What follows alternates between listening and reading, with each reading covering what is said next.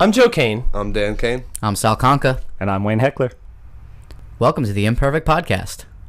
Be sure to visit us on our website at hecklerkane.com or on social media on Facebook, Twitter, Instagram. The links are in the description below. And I'm Wayne Heckler. or not. I like it.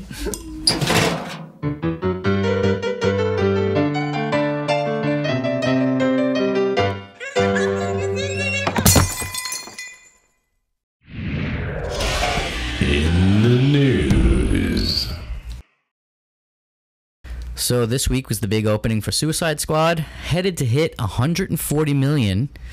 What do Uh, you it was think? The, it was the biggest summer uh, release for Fandango um, in pre-sale tickets. So Oh, that's, interesting. That's a good thing. Not without its controversy, though. I don't know if you guys heard, but there was a petition going around to shut down Rotten Tomatoes. There's uh, big, apparently in response to bad reviews, Suicide Squad fans are really peeved, telling uh, Rotten Tomatoes that critics, movie critics, don't know what the hell they're talking about. Yeah, but isn't that the point of of uh, you know Rotten Tomatoes is to give reviews and put them together? It's not even their reviews. they're sitting at a 27% right now on Suicide Squad, so I guess we're going to have to give our opinion after we go see it tonight. Yeah, next next week, next week's podcast will be on the Suicide Squad. So we found out this week that Stan Lee confirmed for a, uh, a cameo in Guardians of the Galaxy 2. That's a big surprise. Oh yeah, no, he actually he's probably in the most Marvel. He's probably been in more Marvel movies than any other actor. He's got a cameo in uh, Spider Man and this one and that one. So Is there any movie of any Marvel mo- Marvel movie he's not been in? Anybody know? not that I can One? guarantee you. A producer is saying one. I think the first Guardians of the Galaxy. The first guard. Oh, Oh, yeah. he wasn't He in the wasn't first in the guard. first Guardians of the Galaxy. Maybe that's why this is such big news. There you go. There you go. Yeah, So, welcome to the Guardians of the Galaxy. yeah. Resident Evil: The Final Chapter. The teaser trailer was released this week. It features Milla Jovovich, who plays Alice in the upcoming film. Full trailer scheduled to be released on Tuesday, and the film is due out in January of 2017. That's it in this week's news. Interview with the makers of Swivel Shot, short film. All right, so we're here today with producer Christopher Glatis and actor Rick Ravanello from the uh, independent film Swivel Shot. It's a, uh, a an independent film that features two LAPD police officers at the height of their love, plan to surprise each other with joyful news. Unfortunately, a day that could have been beautiful for both proves to be the most challenging day of their lives. So, Chris, what uh, brought you to make this film? Well, you know, I, I, wrote a feature film uh, a few years back um, that was about, um, it's called Big Bear. It was about two married special operatives, and they were trying to thwart a uh, terrorist attack in Los Angeles and do it actually in a very unique way. And, you know, looking on the outside of it, you would think that it was, you know, it's, it, it is an action film and relationship between um, two people working in very a very dangerous job that love each other. Um, I don't know if any of you are married, but um, the challenges that that brings just in itself are tremendous. And if you have kids, and then to throw in working at a job that um, potentially you could die every single day, I, something about that just you know kind of piqued my interest, and I started to explore that. The script went around um, almost got made, and then I was like, you know, I want to do a short. I, I hadn't done a short film. I hadn't been behind a camera in a while, and I wanted to do a short. And so I'm like immediately living in LA. I kind of took those two characters and made them um, LAPD officers, easily recognizable, and um, and really wanted to explore more of the emotional thread than kind of the, the even though it is a thriller, um, just to, to, to have that emotional thread through there. That's what attracted me. Cool. So, Rick, what drew you to the film, and have you worked with Chris in the past, or you know, how did you get involved? Uh, Well, Chris and I did a movie together a few years back called Dose of Reality. It was myself, uh, Fairuza Balk, and Ryan Merriman, the three of us in a bar. And uh, I, I had not met Chris prior to that. I, I remember going to an audition a year prior to that film actually ever being made. Um, doing what we do, you walk in, you do your stuff, you go home, and you forget about it. And a year later, I got a call uh, asking, um, basically giving me dates, and, and I'm friends since then. So that movie, you know, kept us together. And then Chris came to me with Swivel Shot, and and uh, you know I read it. and I knew it was a short, and I haven't done a lot of shorts, and it, which which is odd because in the last year and a half I have done a few more shorts because the content sometimes can be stronger. That message to the audience can be stronger than what you know a, a, a 90 minute on film feature film can actually represent. Sure. What I say and what I ask of every director is like, what do you want your audience to, to walk away from? I had those conversations with Chris, you know, and and and you know, we, we, we both I think personally in my mind anyway, we had differing opinions of where to go whatever. But the cool thing, guys, is that collaboration and swivel shot required a collaboration. Yeah, and, and I, think, I, think, that spoke to a number of different things, right? I mean, that collaboration that you guys had, you really did deliver the message home that, that you wanted, right? It was also just, it was shot beautifully. And because it is a short, you have this opportunity to tell a succinct, a succinct message in a very brief period of time as opposed to long, long, long, um, long format films that, how many times you see a long movie, you know, how much filler and fluff, and you didn't need that scene, and the last 20 minutes could have been cut, and, you know, all, all those types of conversations happen happen with a long film, right?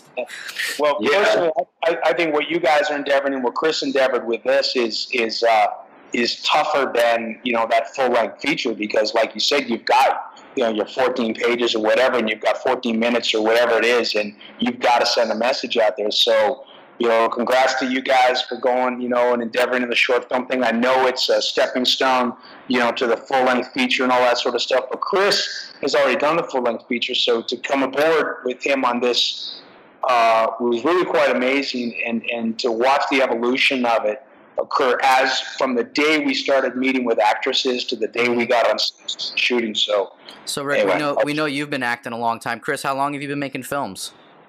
A long time, I, over you know 15 years. Um, so it's it's been you know I, I, started out actually writing was my true love, um, and I think it's because um, I tend to be more a little bit more of like I can be by myself very easily, and so the writing thing is is fantastic. Hmm. Um, doesn't cost you any money except you know you can say time, money. Um, but I started out writing, and then um, and then finally I started to get the bug, you know, being on the set in school, and and when I got on on the set, what you guys were just talking about, the collaboration and and that just it was so fun just to be on the set with other people who, you know, are all specializing in different areas, but are also really creative, and it just it just kind of it just blossomed from there to want to be behind the to, to be behind the camera as well yeah. direct. The, the the importance of collaboration. I'm going to throw this out there to, to either of you. Uh, you know, I've worked on both sides. I've been an actor. I've been a director. I've been on both sides, and uh, to me, it's absolutely priceless, priceless to be able to collaborate and come up with the ideas. Um, can you give me an instance where the collaboration came through in this film? Absolutely. Um, you know, we we had um, a moment um, when we were you know, without getting into actual real specifics, because I don't want to give anything away, but when we were, I think Rick, we were talking about the characters and where they were coming from, and as far as um, uh, uh, I'm trying, I'm trying to how to, how to deliver this. With, you guys have seen the film, but without giving anything away. But basically, I had a completely different idea of um, Jacqueline, who plays the female officer, I had a completely different idea of her, her, of her kind of background and and what she was going through in this movie. And then Rick, we were just sitting at a table having lunch, and he's like, "Well, what if you know, what if this happened? You know, what if what if we gave her, you know, what if we just flipped that on its head? And actually, I sat there for a minute, and it's interesting because the first thing that comes usually happens is, but your ego will jump up and go, "Well, that's not my idea. Mm-hmm. Like, yep. you know, I can't let that happen." And then I go, "You know, what's the best for the film?" And Rick had a great idea, and Jacqueline agreed with it. So, you know, pretty much it was it was something that you might not get by watching the film, but it, it, clearly changed Jacqueline's character and how she approached the role. So, you know, and that could be that could be what I just said could be for anything. I mean, um, I've done, I've had situations where people come to me, and I they Rick or you know whoever I'm working didn't like a take. I like the take I just had, but I want to give them that opportunity to, you know, as long as the time is there and as long as it's available and we have light. Um, it, it, it's I think it's tough as a director. You have to really stand up for what you believe in, but you also have to be a traffic cop, a psychologist. Uh, you have to have all those things going on at once. And I think if you just ask yourself what is the best for the movie, you can really you know, it helps out tremendously. But collaboration is absolutely key. Yeah, and it goes back to that what Rick was saying before, right? Having that core to what you want to deliver to your audience and what's that message. So it's it's kind of like uh, I have a business background in marketing and and all that stuff, and a lot of businesses that we run and then looking for their marketing campaigns, we always have this premise where we start with why, and you know, it's like it's easy to talk about what you do and how you do it and all that stuff, but why are you doing it? You know, really comes to the crux, and that's what we talk about a lot. You know about projects that we're working on. It's like as really kind of like beginner in, uh, indie filmmakers, a lot of times we're struggling with which projects to, to go with, and we're trying to figure out well it's why why it's the why why do why are we going to make this project? What's really the point? You know, it, does I think, it? I think any project that you go into, you have to ask yourself, well, I'm going to invest time in this. I'm going to invest my myself into this, and am I willing to go for the next, you know, uh, month working on this project, the next two months working on this project, and where do you go with that? And and and again, Yeah. why? Exactly. Well, well guys, let- let- if, I- if I could interject, I, I want to throw something back to you as filmmakers, and, and Chris and I have had these conversations as well. I mean, you know, again, to what I was saying earlier, um, are you looking at the message that you're sending out there and how it's resonating with the audience? I mean, you know, ultimately for, for me as an actor, and I would think as filmmakers as well, I mean, we need to attach to, to an audience because the audience is what's going to give us the opportunity to go on and make the next film Yep. as an actor, as a, as a producer, as a director. You know, so yeah, I love what you're saying about why. Uh, I, and I think everybody has to ask that very question and say, "Wh- why am I playing this character? I, I you know, and, and I'm not blowing smoke, whatever, but I turn down, you know, projects that I think maybe I shouldn't turn down sometimes because it might be a paycheck, but I turn down projects because they don't ask why. You know, and it doesn't give me an opportunity to ask why. So now all you got is a sludge that is running around with what you guys deal with as filmmakers, which is a headache in itself. You know, what are you putting out there? So, um, you know, it's really interesting back to what Chris was saying, and, and I just want to say this. For me, with Swivel Shot, it wasn't putting on a uniform or a costume and becoming a cop for me with swivel shot. It was because it was about being a human being. It was about being this man who was in love with this woman. And and they happened to have this hurdle in their lives which happened to be their jobs. And they got in the car together that day and so on and so forth. It, it had nothing to do with the uniform while i was while I was making that movie. It had everything to do with the love that I had for this woman and the consequence that we happened to be in because of the uniform. And and I don't know if actors look at it that way enough. I think we, we put the costume on and we become a character. That's bullshit. That's bullshit. It's about discovering myself within that story. And believe me, guys, we all have a little bit of every script that we read. There's a little bit of something in there that is our own that we can bring to it Yeah. that is special and nobody else on the planet has. And that's awesome. I mean, it's great to talk to somebody that has such personal integrity, right? That they bring to their roles and their career. I mean, that's that's the goal for all of us. We all want to. We all just aspire to do what we love and influence people around us, and you know, our uh, you know, in our in our sphere. Just come from a place of truth. Yeah. Whether you're writing, whether you're directing, whether you're producing, whether you're, especially if you're acting, just come from a place of truth, man, and everything falls into place. And and that's what I love about Chris's writing because it's so raw and it's so you have to think when you read it. And and I do a lot of TV, and you don't have to think at all. I can get I can drink and smoke and do whatever the fuck I want, just show up and do the shit, and nobody really cares. But but it's Which just we're doing on to the reality. Yeah. you know independence and these shorts and when you have that that slight time frame and you have to show up and you have to be set uh, that's exciting that's Sure. you know people talk about oh you did a short it's like fuck you of course i did a short you couldn't do it you couldn't do it you couldn't bring it to where it has to go you know so some of the best work that that that, that i feel proudest about in the last couple of years have been these these little shorts I go out and do because hey, I got some time. We give back to the community as well, but Well, That's not the way I look. You'll find a lot of the major actors are going back and doing indie films too, just for the street cred, right? I mean, they're they're going a lot of a lot of folks are going back to do indie films because they want the street cred, so to speak, um, for better or worse. I mean, some of them are probably doing it for the right reasons, and some of them are doing it literally because they think they're going to get the street Yeah. cred. Um, the fact that movies get made that actually are finished is mind blowing to me. I mean, you're taking, you know, on a bigger film, you know, uh, on my feature, I don't, you know, we probably had 40, 50 people from beginning to end, maybe, maybe more than that. You have all these people, all different personalities, all different schedules, egos, everything. You have, you have, you're, you're shooting a movie, you're shooting something completely out of order the actors have to ride these emotional waves and they have to do the end first. It's it blows my mind that movies even get made. I, I've always said that I, I think that everyone on this planet should be on a movie set for one day just to see what happens. And most of the time they're like they're bored to bored to hell and they're like, you know, is this is this everything? Because when you see a movie that then then you know wins an Academy Award that collectively everyone's like loves, that is like like you know the hand of God coming down and just blessing the, the whole production because it it, it re, you know you see movies nowadays they have all the best people all the best actors and and they end up being crap. So that shows you that even though we have all the best people involved it, it could end up like shit um, It's Yeah. funny. so- Our so our podcast last week was inspired by an article on Screencraft. I'm sure you guys maybe have seen the website Screencraft, and they Yeah. they did a blog post called "Why Hollywood Makes Bad Movies." And that's what our whole podcast was. Our whole last week. podcast was last week about why Hollywood makes bad movies. Uh, how long did the whole process take of the uh, of the filming?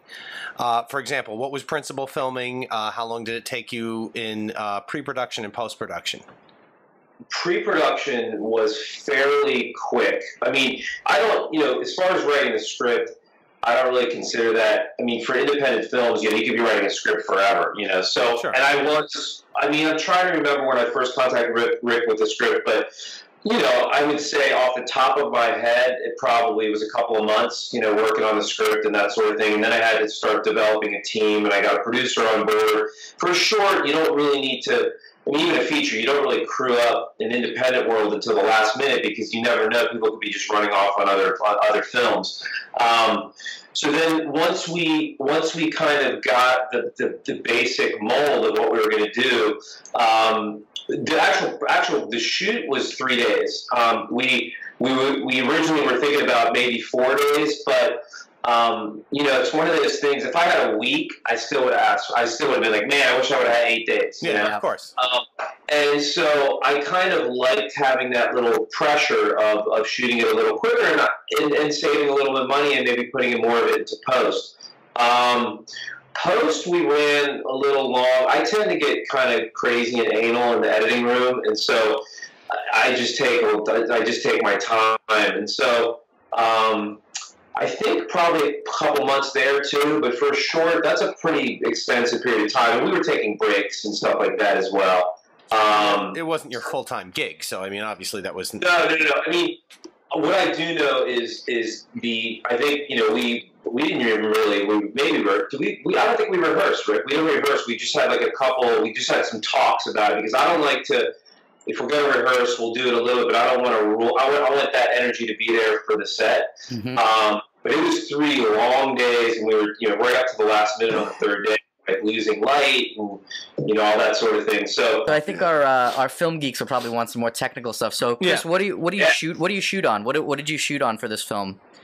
that we should use the Alexa. It was the first time I've used the Alexa, which is an unbelievable. It was funny when I was interviewing D, uh, DPs. Um, you know, they all said we want the Alexa. Obviously, it's the camera nowadays. And what we didn't just what we didn't say is that when we were riding around, you know, um, uh, South Central with this with this LAPD car, you know, we had a two hundred fifty thousand dollar camera hanging out the window, and you know, usually you're being pulled. So, you know, Rick's on the left side of the car and and you know, that thing comes out, you know, a pretty good distance. So I was like just praying that, you know, we didn't clip anything.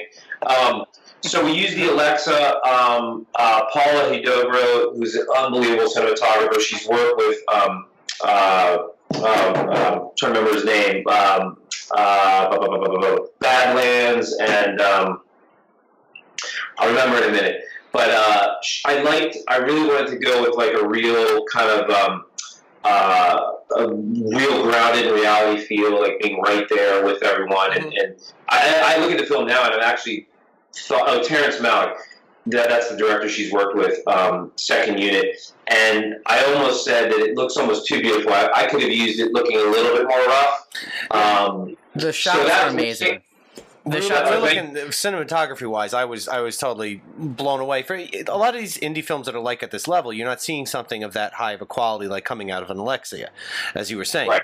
You know, right. I, I was looking at this. I was I was really I, I, it was beautiful. It was beautiful. It was a shot. beautiful picture being painted. So I'm which is know. a great which is a great irony to the grit of the story. Like uh, to me, a little bit. You know, you have this beauty because it lures you in. The beauty of this the cinematography, like it, it it makes you feel safe in some regards when you're watching it and then as the story unfolds you know you really you know we all know how it unfolds so you know it's it, it's great I, I i love the way it was shot so well it's interesting also um the, the thing I, I you know I look at like cameras and equipment and everything the, the equipment is only as good as the people behind it I mean you can have an Alexa and it'll look like crap you know I mean it all you have to have the people who you know, that's why I, even if it costs me a little bit more money that probably I don't have, I'm like, I need to have these people surrounding me. And that goes back to the collaboration thing. You know, I, I can't, I mean, I, I, know how to operate a camera, but mm-hmm. I don't know if I could get an image like that, you know? Can we ask, what was the budget for a film like this? Oh God, I'm trying to remember now after post. Um, I think it was somewhere around 25, maybe it was probably more than that, mm-hmm. somewhere in that zone. Yeah, okay. I mean that's great. I mean, it, you know, for the type of quality that you guys had and the that type of budget. I mean, you know, I mean it's with with a lot of filmmakers going with Indiegogo and and other things. I mean, that's that's an attainable number to be able to film something very professional, right? And shoot, shoot something that can tell a real story. I think a lot of people, I think independent filmmakers, sometimes I think they think they need much bigger budgets to make of yeah. something that looks like this. And the reality is you, you, you, may not. And a lot of times they can't get it because of the, the, you're looking at a budget and going, looking at something like this, like a 14 minute short and going, I need X amount of money to get that. And you're going, I need, you know, 5 million. It's not going to happen. but, yeah, but that's, that's when, that's when you put, you know, you put your brain cells together and you put your thinking caps on. And I mean, you you can go out and you can shoot your shorts for. I mean, I I know they're shooting them for five inside of ten. Yeah, and they're oh, looking oh, yeah. great. But that you know, people always ask about the relationships in the industry. I mean, I'm I'm blessed that I have a relationship with Chris Glatis right now that you know, I'm Chris going to go off make another film one day and whatever. And you know, we have that connect. We we understand each other as far as where I am in front of the camera, where is where he is behind the camera, and we put that in our little tool chest of. Of, of relationships we have in the, in the business, and you know, I've gone two, three years where I've not talked or collaborated with that director or that writer in the past, and then the phone rings, or nowadays with social media, and you get that call. You know, the, the most important thing of what we do is maintaining and nurturing the relationships that we have in this business. So now we're back down to, to shooting short films that really resonate and make a difference. I mean, look at, you know, 25, 20, I mean, 5, 10. I mean, it, it all comes your locations, you know, the, the, the crew that, you know, when I go to work, my crew is the most important part of everything I do. It's not my director and producer. Sorry, guys, but it's the truth. My crew is that. I mean, that's the group. And guess what? I see those guys time and time and time again. And also, guess what? Those guys are moving on. Have you ever seen a first AD who wants to remain being a first AD? That guy wants to direct. And then the phone rings and he's directing. He say, hey, man, you know what? You got to come do this with me. It's all about relationships. And then those numbers that we get to make those, whether it's a short or a full length feature, indie, whatever, they start dropping because we got those people, you know, that want to come and want to work with you, and you want to work with them, and you know, so we collaborate again. Back to that question earlier, and we make great films. And you know, Dose of Reality was one of them, uh, and also digital. I mean, you know, oh, digital now has changed everything. I mean, I when I first started, when I first started, it was film, and and I, you know, I've been shooting um, a couple documentaries. I went out and bought a camera, and I'm a one man band. I mean, I'm doing everything. I'm, I'm operating the camera. I'm shooting sound on the camera, and I mean, the documentary cinema verite style is easier with that. But I can't, you know, I'm pretty sure I could probably shoot a short using, you know, I have a C100. It's a beautiful camera. I mean, the images are beautiful. it's not Alexa, but you get a you get a um, you know I have a Ninja that I run it through. It's basically a C300, you know, and and the images are, are beautiful, and so you know you can you can do things and you just buy the camera. You don't rent it because by the time you finish renting it you're going to spend more for you know you're going to spend more than, you, than buying the camera. So what um what's next for swivel shot? I mean has it already been in festival or are you guys waiting yeah. or? We were at cinequest up in uh, uh, san jose which is really um, i had a dose of reality there too. It's a great festival. We had a blast up there. We had uh, uh, here's the thing with shorts at film festivals, it's kind of tough because depending on where you're placed, like you could be in a pack of short films, and if you're in the middle, you know, your your film, the features are really what everyone wants to wants to see. Now, I'm generalizing, obviously, because you know, films that there's short films at some of the bigger festivals that go on to become features and all sorts of things. Um, but it, it, it, so I guess what I'm saying is, it's it's it's great but you have what 100 200 people see your film or now again online with the way things are going things can catch on and go viral online you know, very very quickly. Now we're online now. I've got a couple festivals that i'm waiting to hear back from. Um, even festivals now are okay if the film is online because they know that people are releasing they're, they're not going to wait yeah. you know? Um, so i'm waiting to hear back from a couple more um, and yeah, we're just just seeing how the how the response comes in through the uh, online websites. I just want to commend you guys for going at and doing the independent thing because as an actor, when I see an independent, I get excited. You know, and and uh, and that goes back, and that really started with Chris and Dose of Reality because we don't look at independence as really paying the bills they don't. No, it's Yeah. not. You know, but but you go out and do them, and what's am- what's amazing about having had the opportunity to do dose with Chris, it became this little thing that started to pay the bills because he allowed me an opportunity to go out and go to this place and play this character that I had never been offered before. And it and it and it and it's Chris, I'm not paying you commission on this, but it went off, and people watch that and they go, "Wow, that fat, chunky looking guy that lives in Palm Springs can actually, you know, do this stuff. So we're going to hire him. So, you know, I think actors are stupid to, to, you know, to turn down things just because of the paycheck. Although it is a job for all of us, we all want to make money. But back to the collaboration, you know, if we come together, we put a great product out there, and we all understand what we're trying to do, and we can reach those audiences. We will make the money, guys. And don't ever tell yourself it's not about the money because the money gives us the freedom to go out and to act and to produce and to direct. Yeah, well, we we really appreciate you guys' time. I mean, for us, as much as you know, we have this podcast as a forum for independent filmmakers and actors like yourselves, as well as indie musicians. So, you know, it's really a treat for us to meet two great guys like you. I think this Yeah. is, th- we're really enjoying this, and you know, we see We, it as we were a- looking forward to that. yeah, to, to it- meeting you. it- it's it's educational for us as well. So uh, on the selfish side of things, you know, we learned a lot from this as well. So and we hope hopefully our audiences will will will as well. So and just keep getting the word out, man. I, it's good to see that, that, that guys are, are, are, you know, getting. I mean, this is helpful. You're giving this out for free to people, and I think it's really cool to uh, to inspire other people. Uh, thank you to Rick and Chris for sticking around and talking with us. Uh, t- if you haven't checked it out yet, check out Swivel Shot. We'll have a link below. Uh, and that's it for the Imperfect Podcast. Thank you guys very much. Take care, guys. bye guys. Pat, it's great to meet y'all. We'll talk to y'all soon. Take Cheers. care. Bye. All right. Bye.